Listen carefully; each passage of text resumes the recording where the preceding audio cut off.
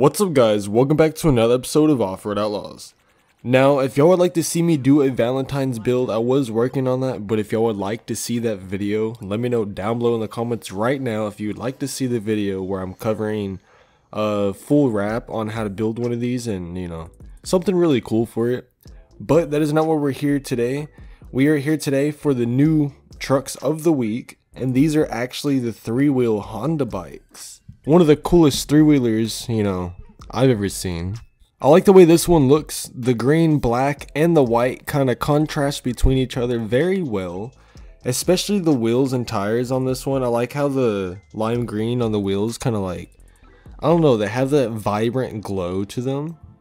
It just looks really good. I like this one. So here's the next one. This one is orange. It looks like it has, you know, kind of like some sand tires on the front and the rear. We go back to this first one. This one's got like rock crawler tires on it, maybe some mud tires. But this second one right here has some small tires and sand tires. So it looks like this one's maybe for some Baja racing or, you know, going out and hitting the sand dunes. Also like the way this one looks with the black and the orange. It's a nice design nice and simple. It doesn't look too bad, nothing overdone on it. Now here's this one. This one is just the simple Honda one. So basically if you want to do like WhistlinDiesel's build or something, you could just come in here and buy this one. And you already have the straight up Honda. Like look at everything. Nice and built correctly. Like everything's just perfect. I would probably buy this one just because the way it looks. Again, this one is also pretty simple. I just like the way it looks. It's nice. And we are not going to buy that. Okay. Let's go ahead and go over here to this one.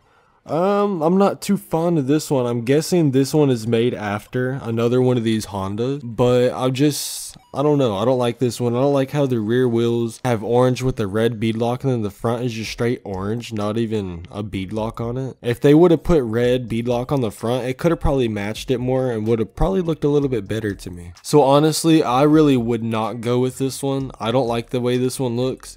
But if y'all like it, then, you know, go with it. So looking at this one here, this one actually has way smaller tires than the other small tire one that we were looking at for the dirt. And this one's got a mud tire on the front and some mud tires on the rear, but they're like different designs, aren't they? Or are they the same wheels? I don't think they're the same tire tread. I don't think they're the same pattern. But this one, um, I'm not too sure why the wheels are so small. I guess for the game, so it can be much faster. Or, you know, sometimes vehicles with smaller wheels go a lot faster in the mud than you would think it would. I like the way this one looks too with the yellow and the black on this one. They got the Tri-Z, Yamaha. Okay, so this one's basically built after a Yamaha. This one right here, the blue Yamaha edition, this one I actually prefer way more than the Yamaha before this. I just like the way this one looks, where the Yamaha is on the gas tank. I really like that. This one is this one is the Trimoto 200. So it's I guess the 200 edition one. I really like the way this one looks right here. Here's the next one. This one is probably my favorite one out of all of the ones that they did add into the limited editions just because, I don't know, I like the way the chrome looks and everything. This one kind of reminds me of a Harley Davidson because of the design on like the, where the seat's at and the cover and everything for the front wheel everything. It just has, you know, that tribal design on it. Kind of reminds me of a Harley Davidson. I really like the way this one looks. Well, guys, if you had to choose between all of these, which one would you go with? If I were to buy one, it would be between this Harley Davidson one and this Honda one right here. Those would be my two choices. Most likely I'd go with the Harley Davidson, but let me know down below in the comments which one you would go with. Alright guys, so we were able to actually build my own right here. We did throw the tribal on it, we threw the chrome rims. It is white, everything is maxed out, and the wheels are maxed out to the biggest rim size and everything. Wheel radius is at point is actually at um 1.4 my bad. And then we did throw perfect tuning on it. So we're gonna go ahead and take this thing out and we're probably just gonna go to single player and we're gonna go straight to stunt park and we're just gonna see you know like how fast is this? What things can we do with it? Can we jump some cool things? All right so we got in the map and so far this thing looks pretty small compared to the character. It looks like a little kid's bike let's see how fast this thing goes Okay, it's not that fast at all. I mean, it's already going above 100. You wouldn't see one of these things doing 100 miles per hour. That's crazy. Let's go ahead and turn around over here and let's see if it's faster than those side-by-sides that I tested. Let's see if we can get it above 150 from wall to wall. And let's go. Okay, we're hitting 80. And we hit 100. Okay, we're in fifth gear. Let's see if we can keep this going. Come on, come on. Give me above 150. Nope, 143. Well, this thing is pretty quick, I'd have to say. If it was able to get, you know, 143 miles per hour, that's really fast. Like, most people can't even drive that fast with their cars. Let me go ahead and see if I can do this little backflip right here. Actually, no, let's do a front flip. Okay, that was kind of weird. Landed and sort of like stuck to the ground. But I mean, they do have their barriers sitting right there where it's like extremely close. See if we can do a backflip on this ramp.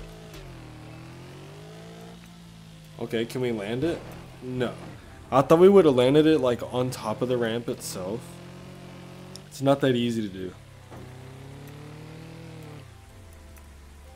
Just like that. That's what I was trying to do right there. Oh, this thing turns like extremely sharp. This is a nice vehicle to use if you're ever trying to come out to stunt park and do, you know, all your stunts and stuff with it. Because it seems to work like almost perfectly for that.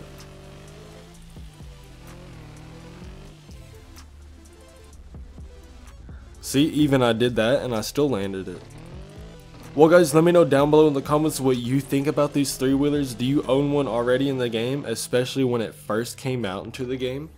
Are you going to end up buying one of these from the limited edition or are you not going to buy one? The limited edition ones, they do have, you know, special tunes set on them and stuff, so they could be a little bit faster than, you know, one that you would have, but then that just means the reason why it's faster is because, you know, they spent a lot of time to get the tune down to make it what it is. So basically, it just saves you, you know, the time. So is the money worth your time? Or is it not worth it? And that's up to you. Oh no! I did not realize there was a double jump. After all the years I've played this, I never really come up here. I've only been up here a few times. No! Alright guys, well that's going to be the end of the video. Let me know down below in the comments what you think about the one that I built. Besides that guys, please be sure to like and subscribe, and turn on post notifications.